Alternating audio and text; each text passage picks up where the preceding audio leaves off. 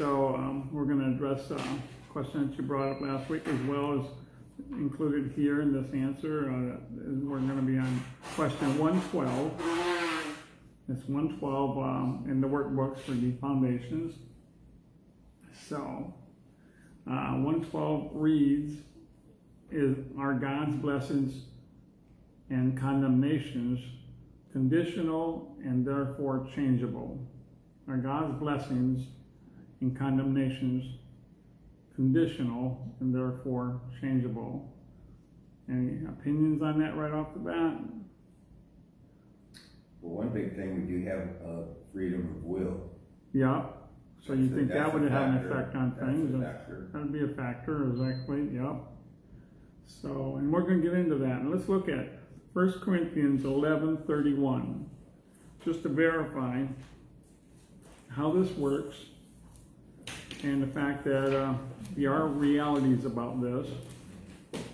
First Corinthians eleven thirty-one, and the answer is yes, they are changeable, and they are based as Al mentioned, on our actions in response to His Word during our time. So let's go ahead and take a look at some verses to support and understand this. To start with, 1 Corinthians 11.31. Go ahead and who would like to read that? But if we judged ourselves, we would not come under judgment. Okay, so that's where it starts, is if we are self-disciplined, it's one of the fruit of the Spirit, and uh, then and correct ourselves, then we don't need discipline. Uh, we don't need to be disciplined uh, by God if we, even though we've done something bad, been doing something bad, but we realize it and we decide, well, we will, as we talked about in the previous class, repent, turn away from that, and uh, do something better or do what God wants us to do. As we discussed in the previous class, repentance basically is a turning.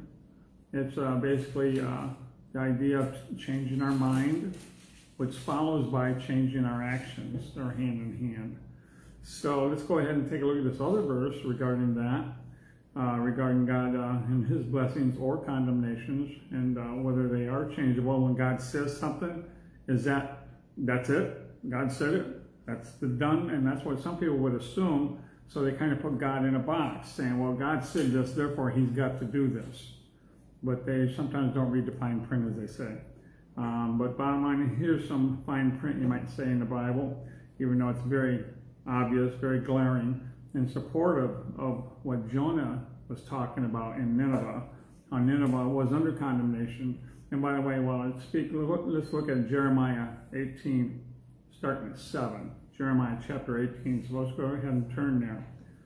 And Jeremiah was written 150 years after Jonah to support what happened there at Nineveh. And God knew that Nineveh wouldn't change without a serious understanding that they're going to fall under judgment, and everybody will fall under judgment sooner or later. In Nineveh's case, it was going to be sooner unless they changed. And they did change. Therefore, the evil city that did so many corrupt things repented, turned around, and they repented of their sins and their activities that were evil and turned towards God in respect and honor to God. And God lifted that and gave them a reprieve, uh, saying, You don't need to be destroyed since you judged yourself, changed your ways. And uh, there was the wicked city was destroyed by revival instead of annihilation. And that's what God would prefer. Here's uh, something to support that that was written 150 years later, Jeremiah 18, 7 through 10. Let's read that in the King James and uh, let's go ahead and uh, hear what that says. 7 through 10? 7 through 10. At what instant, at, at what instant I shall speak uh, concerning a nation and concerning a kingdom to pluck up and to pull down and to destroy, if that nation against whom I have pronounced turned from their evil way, I will repent of the evil that I thought to do unto them. Okay. And, uh, is that all the way 7 through 10? if it do evil in my sight, that it obey not my voice, then I will repent of the good wherewith I said I would benefit them. Okay, and that passage talks about repenting of turning around, away from, turning around from blessing them if they're not going to walk in God's blessings. Israel was going to be blessed as long as they walked in God's blessings. They did not, and uh, since they didn't, uh, then they was dispersed. Uh, and history shows that they suffered many things because of not walking with uh, God and following God's leadership. And uh, so, anyways, so the other conditional it's pretty clear there. It applies to a nation, it applies to an individual. And uh, there's a quote here from the book The Foundations, which is the textbook that this all comes from. Now, by the way, this is backwards in the phone because it's mirrored image. This is like a selfie, the way this is set up real easily to do for these live classes. But the book there contains this quote. And I think it's a good quote to describe how God can change and why God changes. When he pronounces like judgment or he pronounces blessing, how those things can be changed depending on the circumstances. And that would be a righteous thing to do. Uh, it's not wrong. God didn't lie. He was in full intention if something didn't change, that those things would happen. But uh, here's a quote here from the book, The Foundations, and it says, You can adjust your action according to a moving target. If you didn't adjust and refocus, you would miss the target. And that would be sin as defined earlier. God never sins. His eye is always on the target, and his actions are true. So it's like a moving target. Our actions are changing. And God says something when you're here, but then you move over here. And so if God pulled the trigger, he would miss the target. And that's what the, the definition of sin is an archery term, saying that you missed the target. You fell short. You didn't hit the bullseye. So that's the idea. And God never sins. He's always focused on the target. Since the target moved, obviously, for him to be on target, he would have to move. And so things change. So Al's question in the class, after class last week was, how can a all-knowing, sovereign God who knows everything change his mind? And uh, so we're going to address that a little bit. And the first thing, as we talked about after class a little bit, and we'll share here, because that's a good question. Theologians actually would ask that same question. And uh, how can an all-knowing sovereign God change his mind? And to understand those things, we need to understand the Trinity as we talked about earlier in earlier classes. And the fact is that the Father and the Son, Jesus, and the Holy Spirit are distinctive. They have different traits and attributes, but they're a part of one God. Just like I have a body, a soul, and a nature. My human nature makes me human. But nevertheless, we're not going to get into the human nature and people so much as God's Trinity. God's Trinity has three parts. The Bible is very clear about that. And most people don't understand the distinctiveness, importance of those three parts and how they are different. And we talked about in previous classes how the Father is the only one in the Trinity that is omnipresent. The very word omnipresent means that you're always in the same place, all the time. There's nowhere that you are not. Jesus can come and go. So by definition of being able to come and go, you are not omnipresent. The Holy Spirit can come and go. Jesus said he's going to send the Holy Spirit. The Holy Spirit can come into the heart of a person, and that's what makes them a born-again Christian, is the Spirit of Jesus coming into our heart. So the Holy Spirit and Jesus both can come and go. But the Father, because it's what the Bible is very clear that somebody in the Trinity is omnipresent is always somewhere, everywhere, at the same time. And there's nowhere that he is not. Now, if somebody is omnipresent, the Bible is very clear that Jesus can come and go. The Holy Spirit can come and go. There's only one left that can be omnipresent. Therefore, it must be the Father. And Jesus kind of illustrated that in saying the Father is greater than I. Greater in the sense that he's omnipresent, where Jesus can come and go, and Jesus is in the moment, which has different uh, benefits. But the fact is to understand the Father being omnipresent, he's also all-knowing. He knows everything. And we're going to get into some verses regarding that, but Jesus acknowledged that only the Father knows some of these things. There's nothing the Father does not know already. So he's all knowing, he's everywhere, he crosses all time. At the same time, he's in the beginning when Adam and Eve was created, and before that, when the angels and different things happen, and after that, when Jesus comes back, he's there right now. And beyond that, with the new heavens and new earth, he's there right now at the same moment that he's here right now. There's nowhere the Father is not in time, space, or and he knows everything because he is everywhere. He knows what's in our head, our thinking. We went over these things when we studied the Trinity. He knows what comes into our mind, where it came from, even where these thoughts came from. That is the Father. He's mind-boggling because he's beyond our real comprehension to realize that he is everywhere and he knows everything at the moment. Everything is, he's the great I am. He's, he's, he's always everywhere at the same time. Now, God is the great I am. Jesus could say the same thing because he is always, you know, somewhere. But the bottom line is that the Father is always everywhere. And uh, so bottom line is that even on the cross, when Jesus said, my God, why have you forsaken me? He was not talking to the Father as everybody seems to say.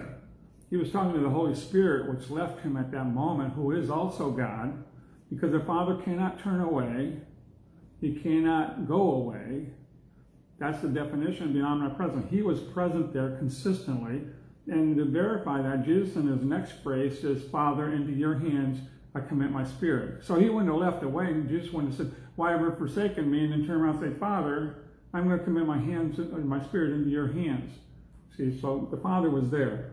He's got to be there because he's omnipresent. So bottom line is the Father cannot change his mind. He has no reason to change his mind. He knows everything right now. There's nothing new to the Father. He knows everything and nothing is new. Now he can experience new things and new feelings and emotions through Jesus and the Holy Spirit, the other two members of the Trinity. That's what makes the Father complete. He can experience these things because of them. But personally, he doesn't ever change. He's the unchangeable God. He never changes because he never has to. He knows everything, and therefore he cannot have a new thought or change his mind. On the other hand, Jesus will focus on in the Trinity is at one point in time. Let's take a look at John 11:35. John 11:35. And Jesus is in a moment of time. He's enjoying that moment. He's fully in that moment. And uh, we're going to look at some things regarding Jesus. It applies also quite often to the Holy Spirit, but especially we're going to focus on Jesus because it's real obvious there. And so, looking at John 11 35, Jesus is completely in the moment. Wherever he is, whenever he is present, he is completely there. John 11 35. Maybe Go ahead. Jesus wept. There you go. That's That's a tough one, isn't it? So, Jesus isn't always weeping, but here was a situation where it's sad, and Jesus can and did weep. He's sad. He's, he's uh, that's the shortest verse. Most people memorize that verse first, and it's a good verse because Jesus has emotions, and he's emotionally changed by the situation that he's involved in, as we should be. Let's take a look at Genesis six, seven through or five through seven. Jesus can change his emotions, therefore, his thoughts change. He has a variety of thoughts he goes through, as well as emotions he goes through. Genesis 6, 5 through 7. Go ahead and read that. The Lord saw how great man's wickedness on earth had become, and that every inclination of the thoughts of his heart was only evil all the time. The Lord was grieved that he had made man on the earth, and his heart was filled with pain. So the Lord said, I will wipe mankind, whom I have created from the face of the earth, men and animals and creatures, and move along the ground, the birds of the air, for I am grieved that I have made them. Okay, so here God is grieved. Jesus can be grieved. Jesus is here being grieved because his creation had become so corrupted. They're so self-destructive, so opposite of what they could be if they wanted to enjoy a uh, uh, blessed life. And it grieved him uh, to the point this is right before Noah's flood. And the reason for Noah's flood, in part, and Noah found favor with God. Uh, Noah was one of the few, uh, probably the only at the time, obviously the only follower except for his wife and uh, and, and, his kids, uh, three child, three children, and their wives. So they were saved um, to repopulate the earth. But the bottom line is, he could be grieved. Now the father is not grieved because he knew about this, and he knew the end result, he knew how everything plays out. But the bottom line is, uh, in the Bible, uh, in King James translation, refers to God repented uh, in this verse uh, a couple times. Uh, he changed his mind in the sense that, you know what, I, I, uh, I, I, regret that I've made people. Now, when he made Adam and Eve, he had a, a, a good time with them the first day. Um, they, they fellowshipped and stuff. they walked together and talked together and enjoyed fellowship before Adam fell. And uh, so there was a, a, a, idea of they are created for pleasure, for fellowship, and God was grieved in this point. He can be grieved, and he was grieved. And let's look at uh, 2 Peter 3 9. Fact is, though, God, who is involved in creation and, and uh, population and all that sort of things, is not willing that anybody perishes. He's not creating anybody to go to hell. That's where, as uh, Al mentioned about we have a free will. We can choose to follow God and follow what's good or follow what's evil and follow Satan. So, bottom line is it is our choice, but we're not created to follow Satan. We're not created to go to hell. And uh, so uh, that would be a, a that would be actually a doctrine that's a Calvinistic doctrine that basically everybody that goes to heaven has been chosen by God. And uh, that's actually a false doctrine if you read the Bible and listen to earlier classes that illustrate how they misunderstand total depravity applies to the old nature, and not to the soul. And God speaks to every single soul. And this verse can also be applied, we're about to read in 2 Peter 3 9. And the uh, fact is that uh, if God chooses who goes to heaven, he also chooses who goes to hell. Therefore, when he creates that person, allows that person to be born, he creates them to go to hell if he's not going to choose them. That's not God. That's a false warped doctrine. He doesn't choose between who's going to heaven and hell. We choose. The Bible says that over and over. Uh, he enables everyone to make a choice. That's because he's a righteous God. People don't understand that. There's a lot of misconceptions on salvation, how we get saved. But it's our choice whether we want, everybody gets a little light at some point, and uh, we go into that in the book, The Foundations, that everybody, without exception, even the unborn will have an opportunity later in the millennium, uh, as uh, we illustrate in the book. Bottom line is there's no exceptions to that. Everybody has an opportunity. God doesn't create anybody to go to hell, nor does anybody get a free pass without making a choice. The angels didn't get a free pass. They made a choice. Some went with Satan, became demonic forces and principalities. Others stayed with God, and they're the good angels and every human will make a choice as well. Uh, so bottom line is here, God doesn't make a choice for us, and he doesn't want us to go to hell. Basically, he didn't create us to go to hell. So let's look at 2 Peter 3 9. Let's go ahead and read that.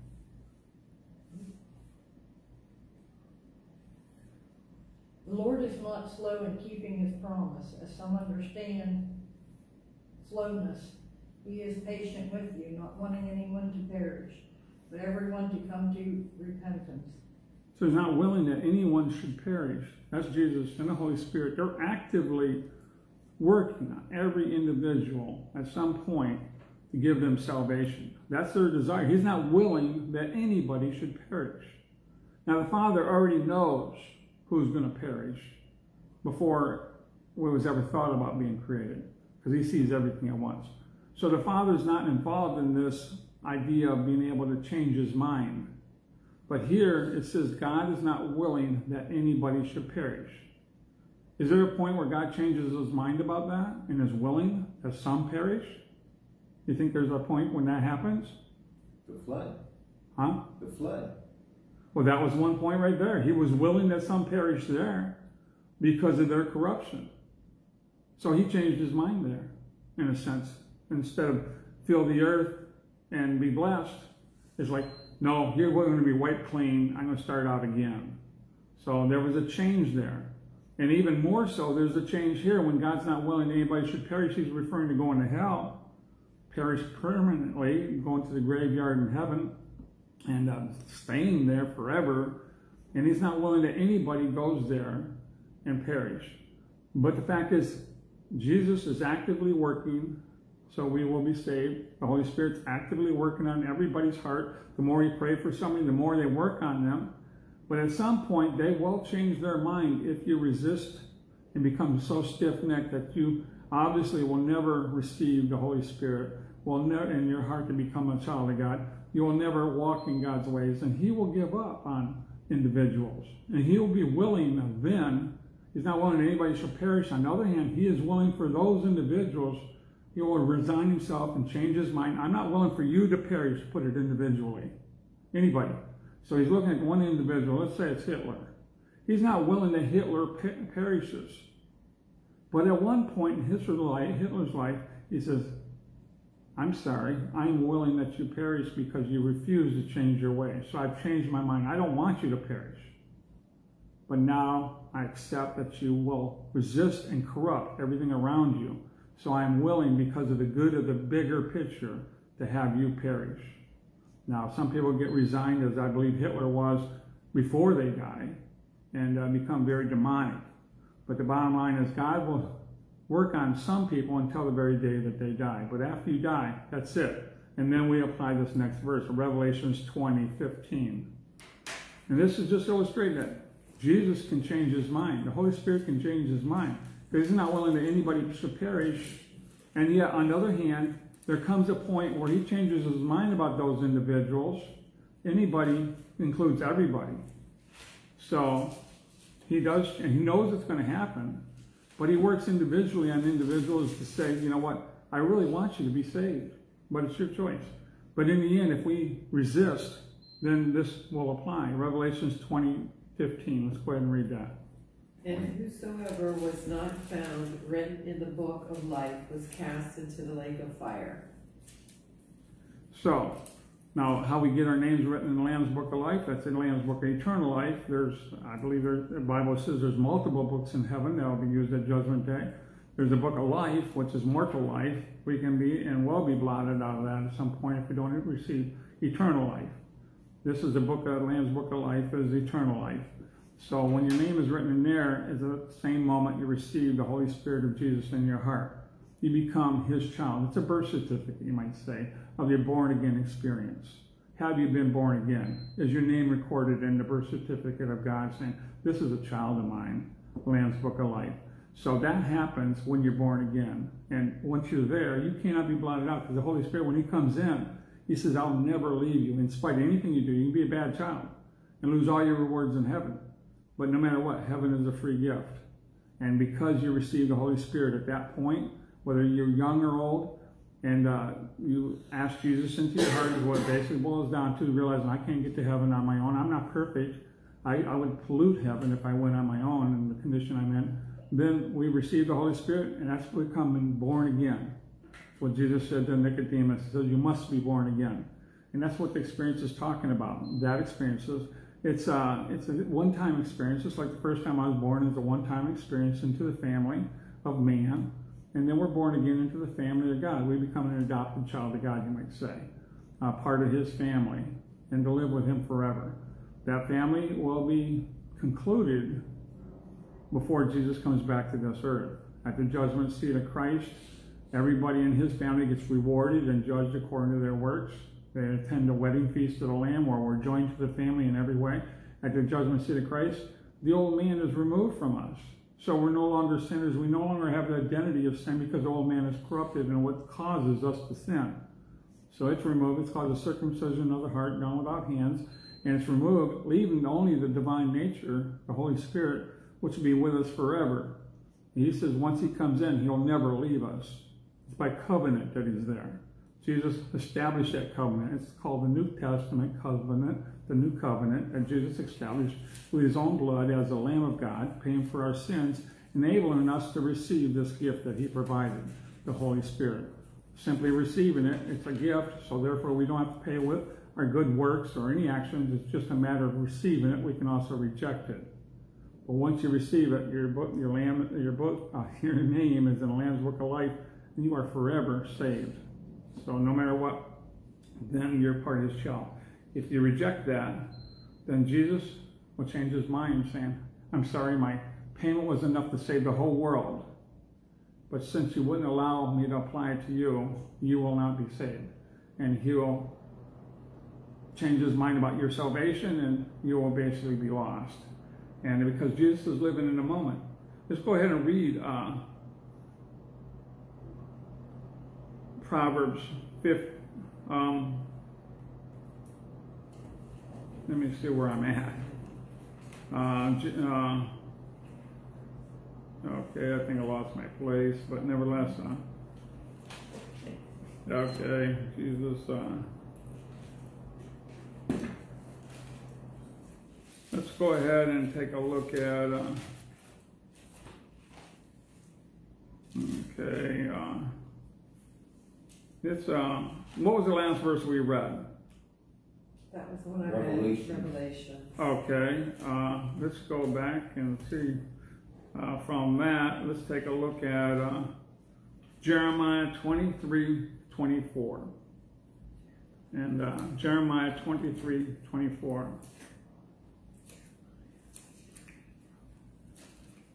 So that's Jesus and the Holy Spirit, but in summary, understanding the Trinity helps us understand how God is the same all the time, and yet he can change.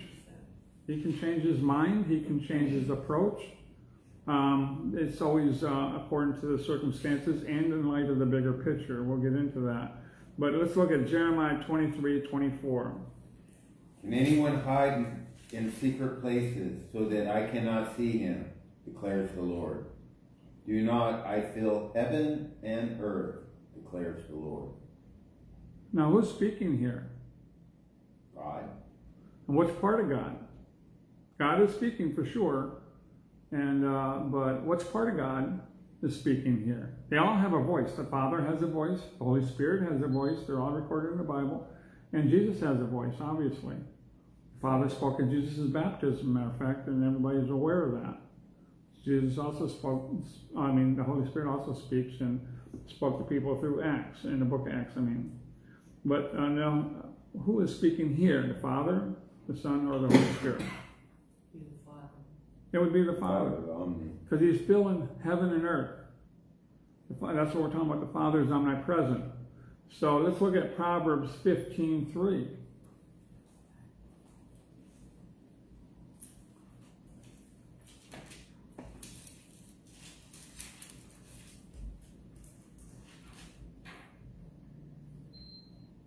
The eyes of the Lord are everywhere, keeping watch on the wicked and the good. So this is again referring to the Father. He sees everything, everywhere, all the time. He sees the evil and all the evil things going on. He doesn't hide himself from those things. He sees everything. As a matter of fact, sometimes, like in Jeremiah's case, he showed Jeremiah situations that were very evil that he was unaware of. Excuse me? And uh, he went ahead and uh, showed him. And the Father knows and sees everything. There's, he's in every single place, seeing every single thing. And on Judgment Day, he is a reliable witness to say these things all took place during your lifetime. Uh, Jesus will be involved there, but the Father actually sees it firsthand. He was there. He's a firsthand witness, and he sees everything. Let's take a look at Proverbs 15:3. We just did that. Oh, I'm sorry. I'm having a tough time keeping track today, aren't I? Uh, Matthew 24, 36. Let's take a look at that.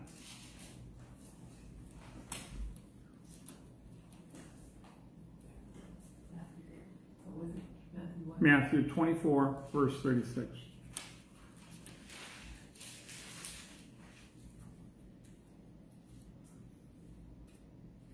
A lot of writing that I put in the workbook, so I get this.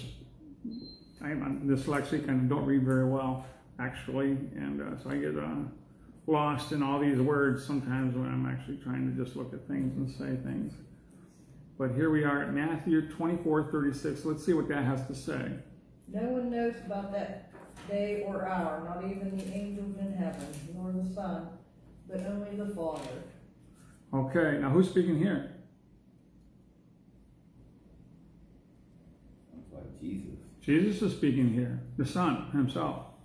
So Jesus is speaking here, and he says that nobody knows, not the angels, not even the Son, nobody knows except for the Father. Therefore, there are things that the Father knows that even other parts of the Trinity doesn't actually know because they don't, don't have firsthand knowledge right there. Jesus is, in one point in time, he's enjoying and being totally all in that moment, but he's totally understanding of all of history, and yet he's understanding the predictions of the future better than we do.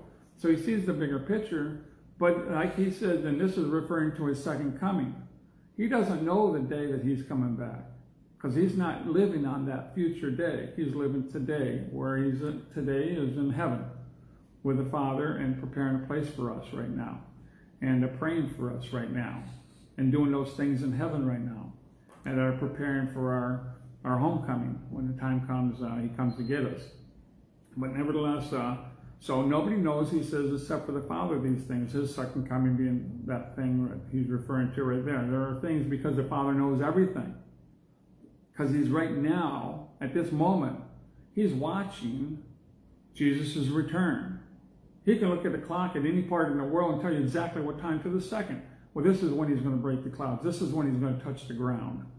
This is what's going to happen next because I'm watching it. The Father can see those things. He knows those things intimately. Without, he's got good vision. And the fact is, he sees all these things, but and he can relate them to Jesus but Jesus doesn't see them except for through the Father. And uh, because he's not living there right now. So he says nobody knows except the Father. So let's take a look at Mark 13, 32.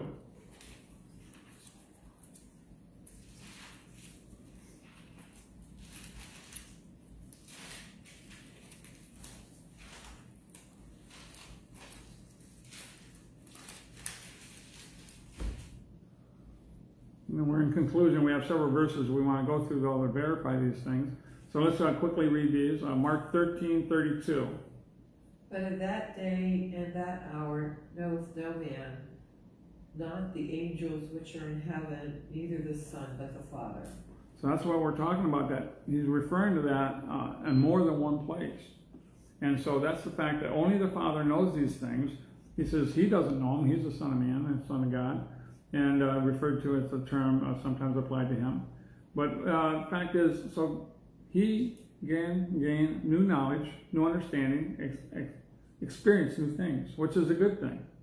Uh, let's look at Luke 10, 18. Jesus can remember the past. He has no memory problem. He can choose to think on certain things and uh, stuff or not think on other things. But he remembers the past uh, very well and goes infinitely back. And here's uh, Jesus again talking regarding the past beyond what the history of man was. Luke 10 18. He replied, I saw Satan fall like lightning from heaven. So he, he was there when Satan was cast into heaven. He remembers that. He's part of God. Satan was a created angel who wanted to be like God and had corrupted himself with his pride. And God says, okay, you can no longer be part of my kingdom. And Satan wanted his own kingdom, and he's got it. It's on the earth today, and it's a corrupt kingdom.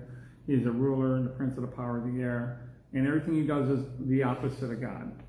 And because that's what happens when you enter corruption and leave perfection, is it automatically turns off the light. And when you turn off the light, it just automatically happens. You're in darkness. And in darkness, all kinds of things happen that are negative.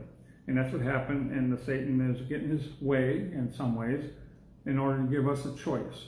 There's a bigger picture here because he was going to have a family that he never had before. The Father, the Son, and the Holy Spirit was going to expand their family in a way that they've never had before with angels. And that's the whole purpose of this time frame in God's large picture and calendar, is this is a time of developing God's family. And we have a choice to be part of that family, which is a ruling class in heaven. God says uh, that we will actually rule over angels. And uh, there's more creations in the future. But when God's family is completed, when he comes back to earth, there will be no more additions to the family of God. And the heaven uh, has a capital city. There's no more expansions to that capital city. It is a certain size, but it'll never be overpopulated. We can always have visitors, and we have a home there, but those homes are permanent, not to be expanded once everything is concluded and Jesus comes back. This is a very opportunity time, opportunist time for us. It's a very privileged time.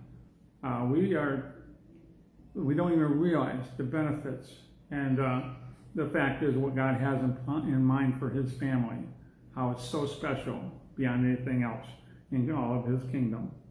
Let's go ahead and read. Um, did we read John 14, 2 and 3? Yeah. Let's go ahead and read that.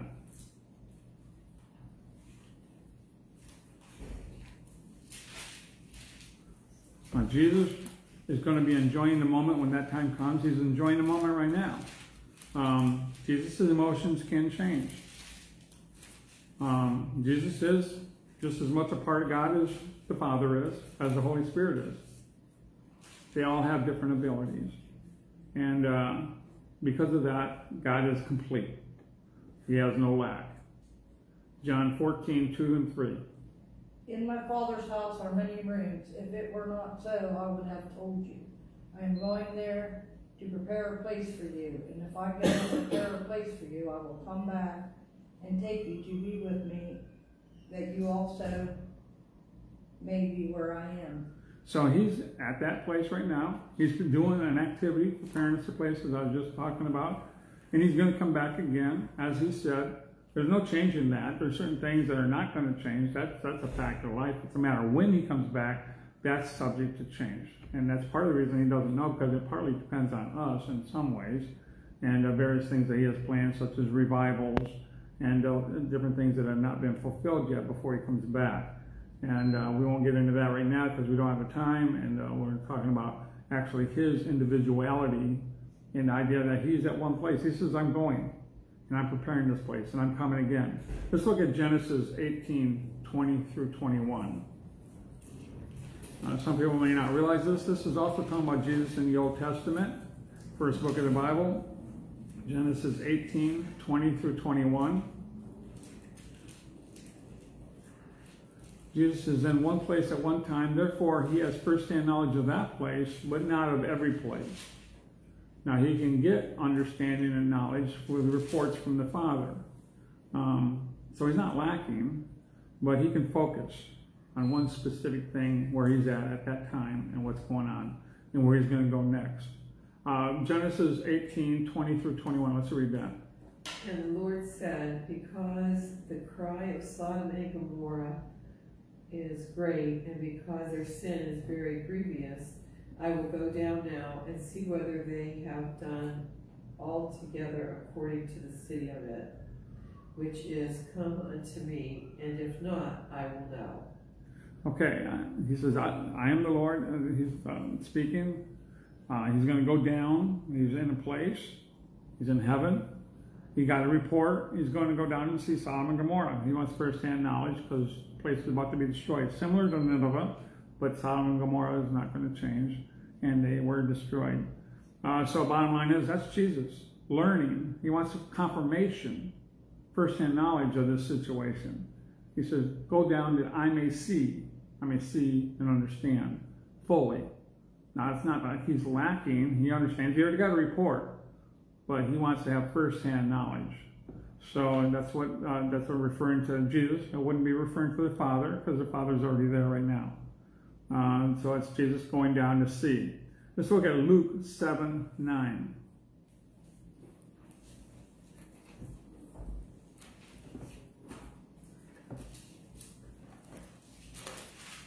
And when you see things and you learn things and you experience new things as Jesus does and can do, your emotions change, your thinking change.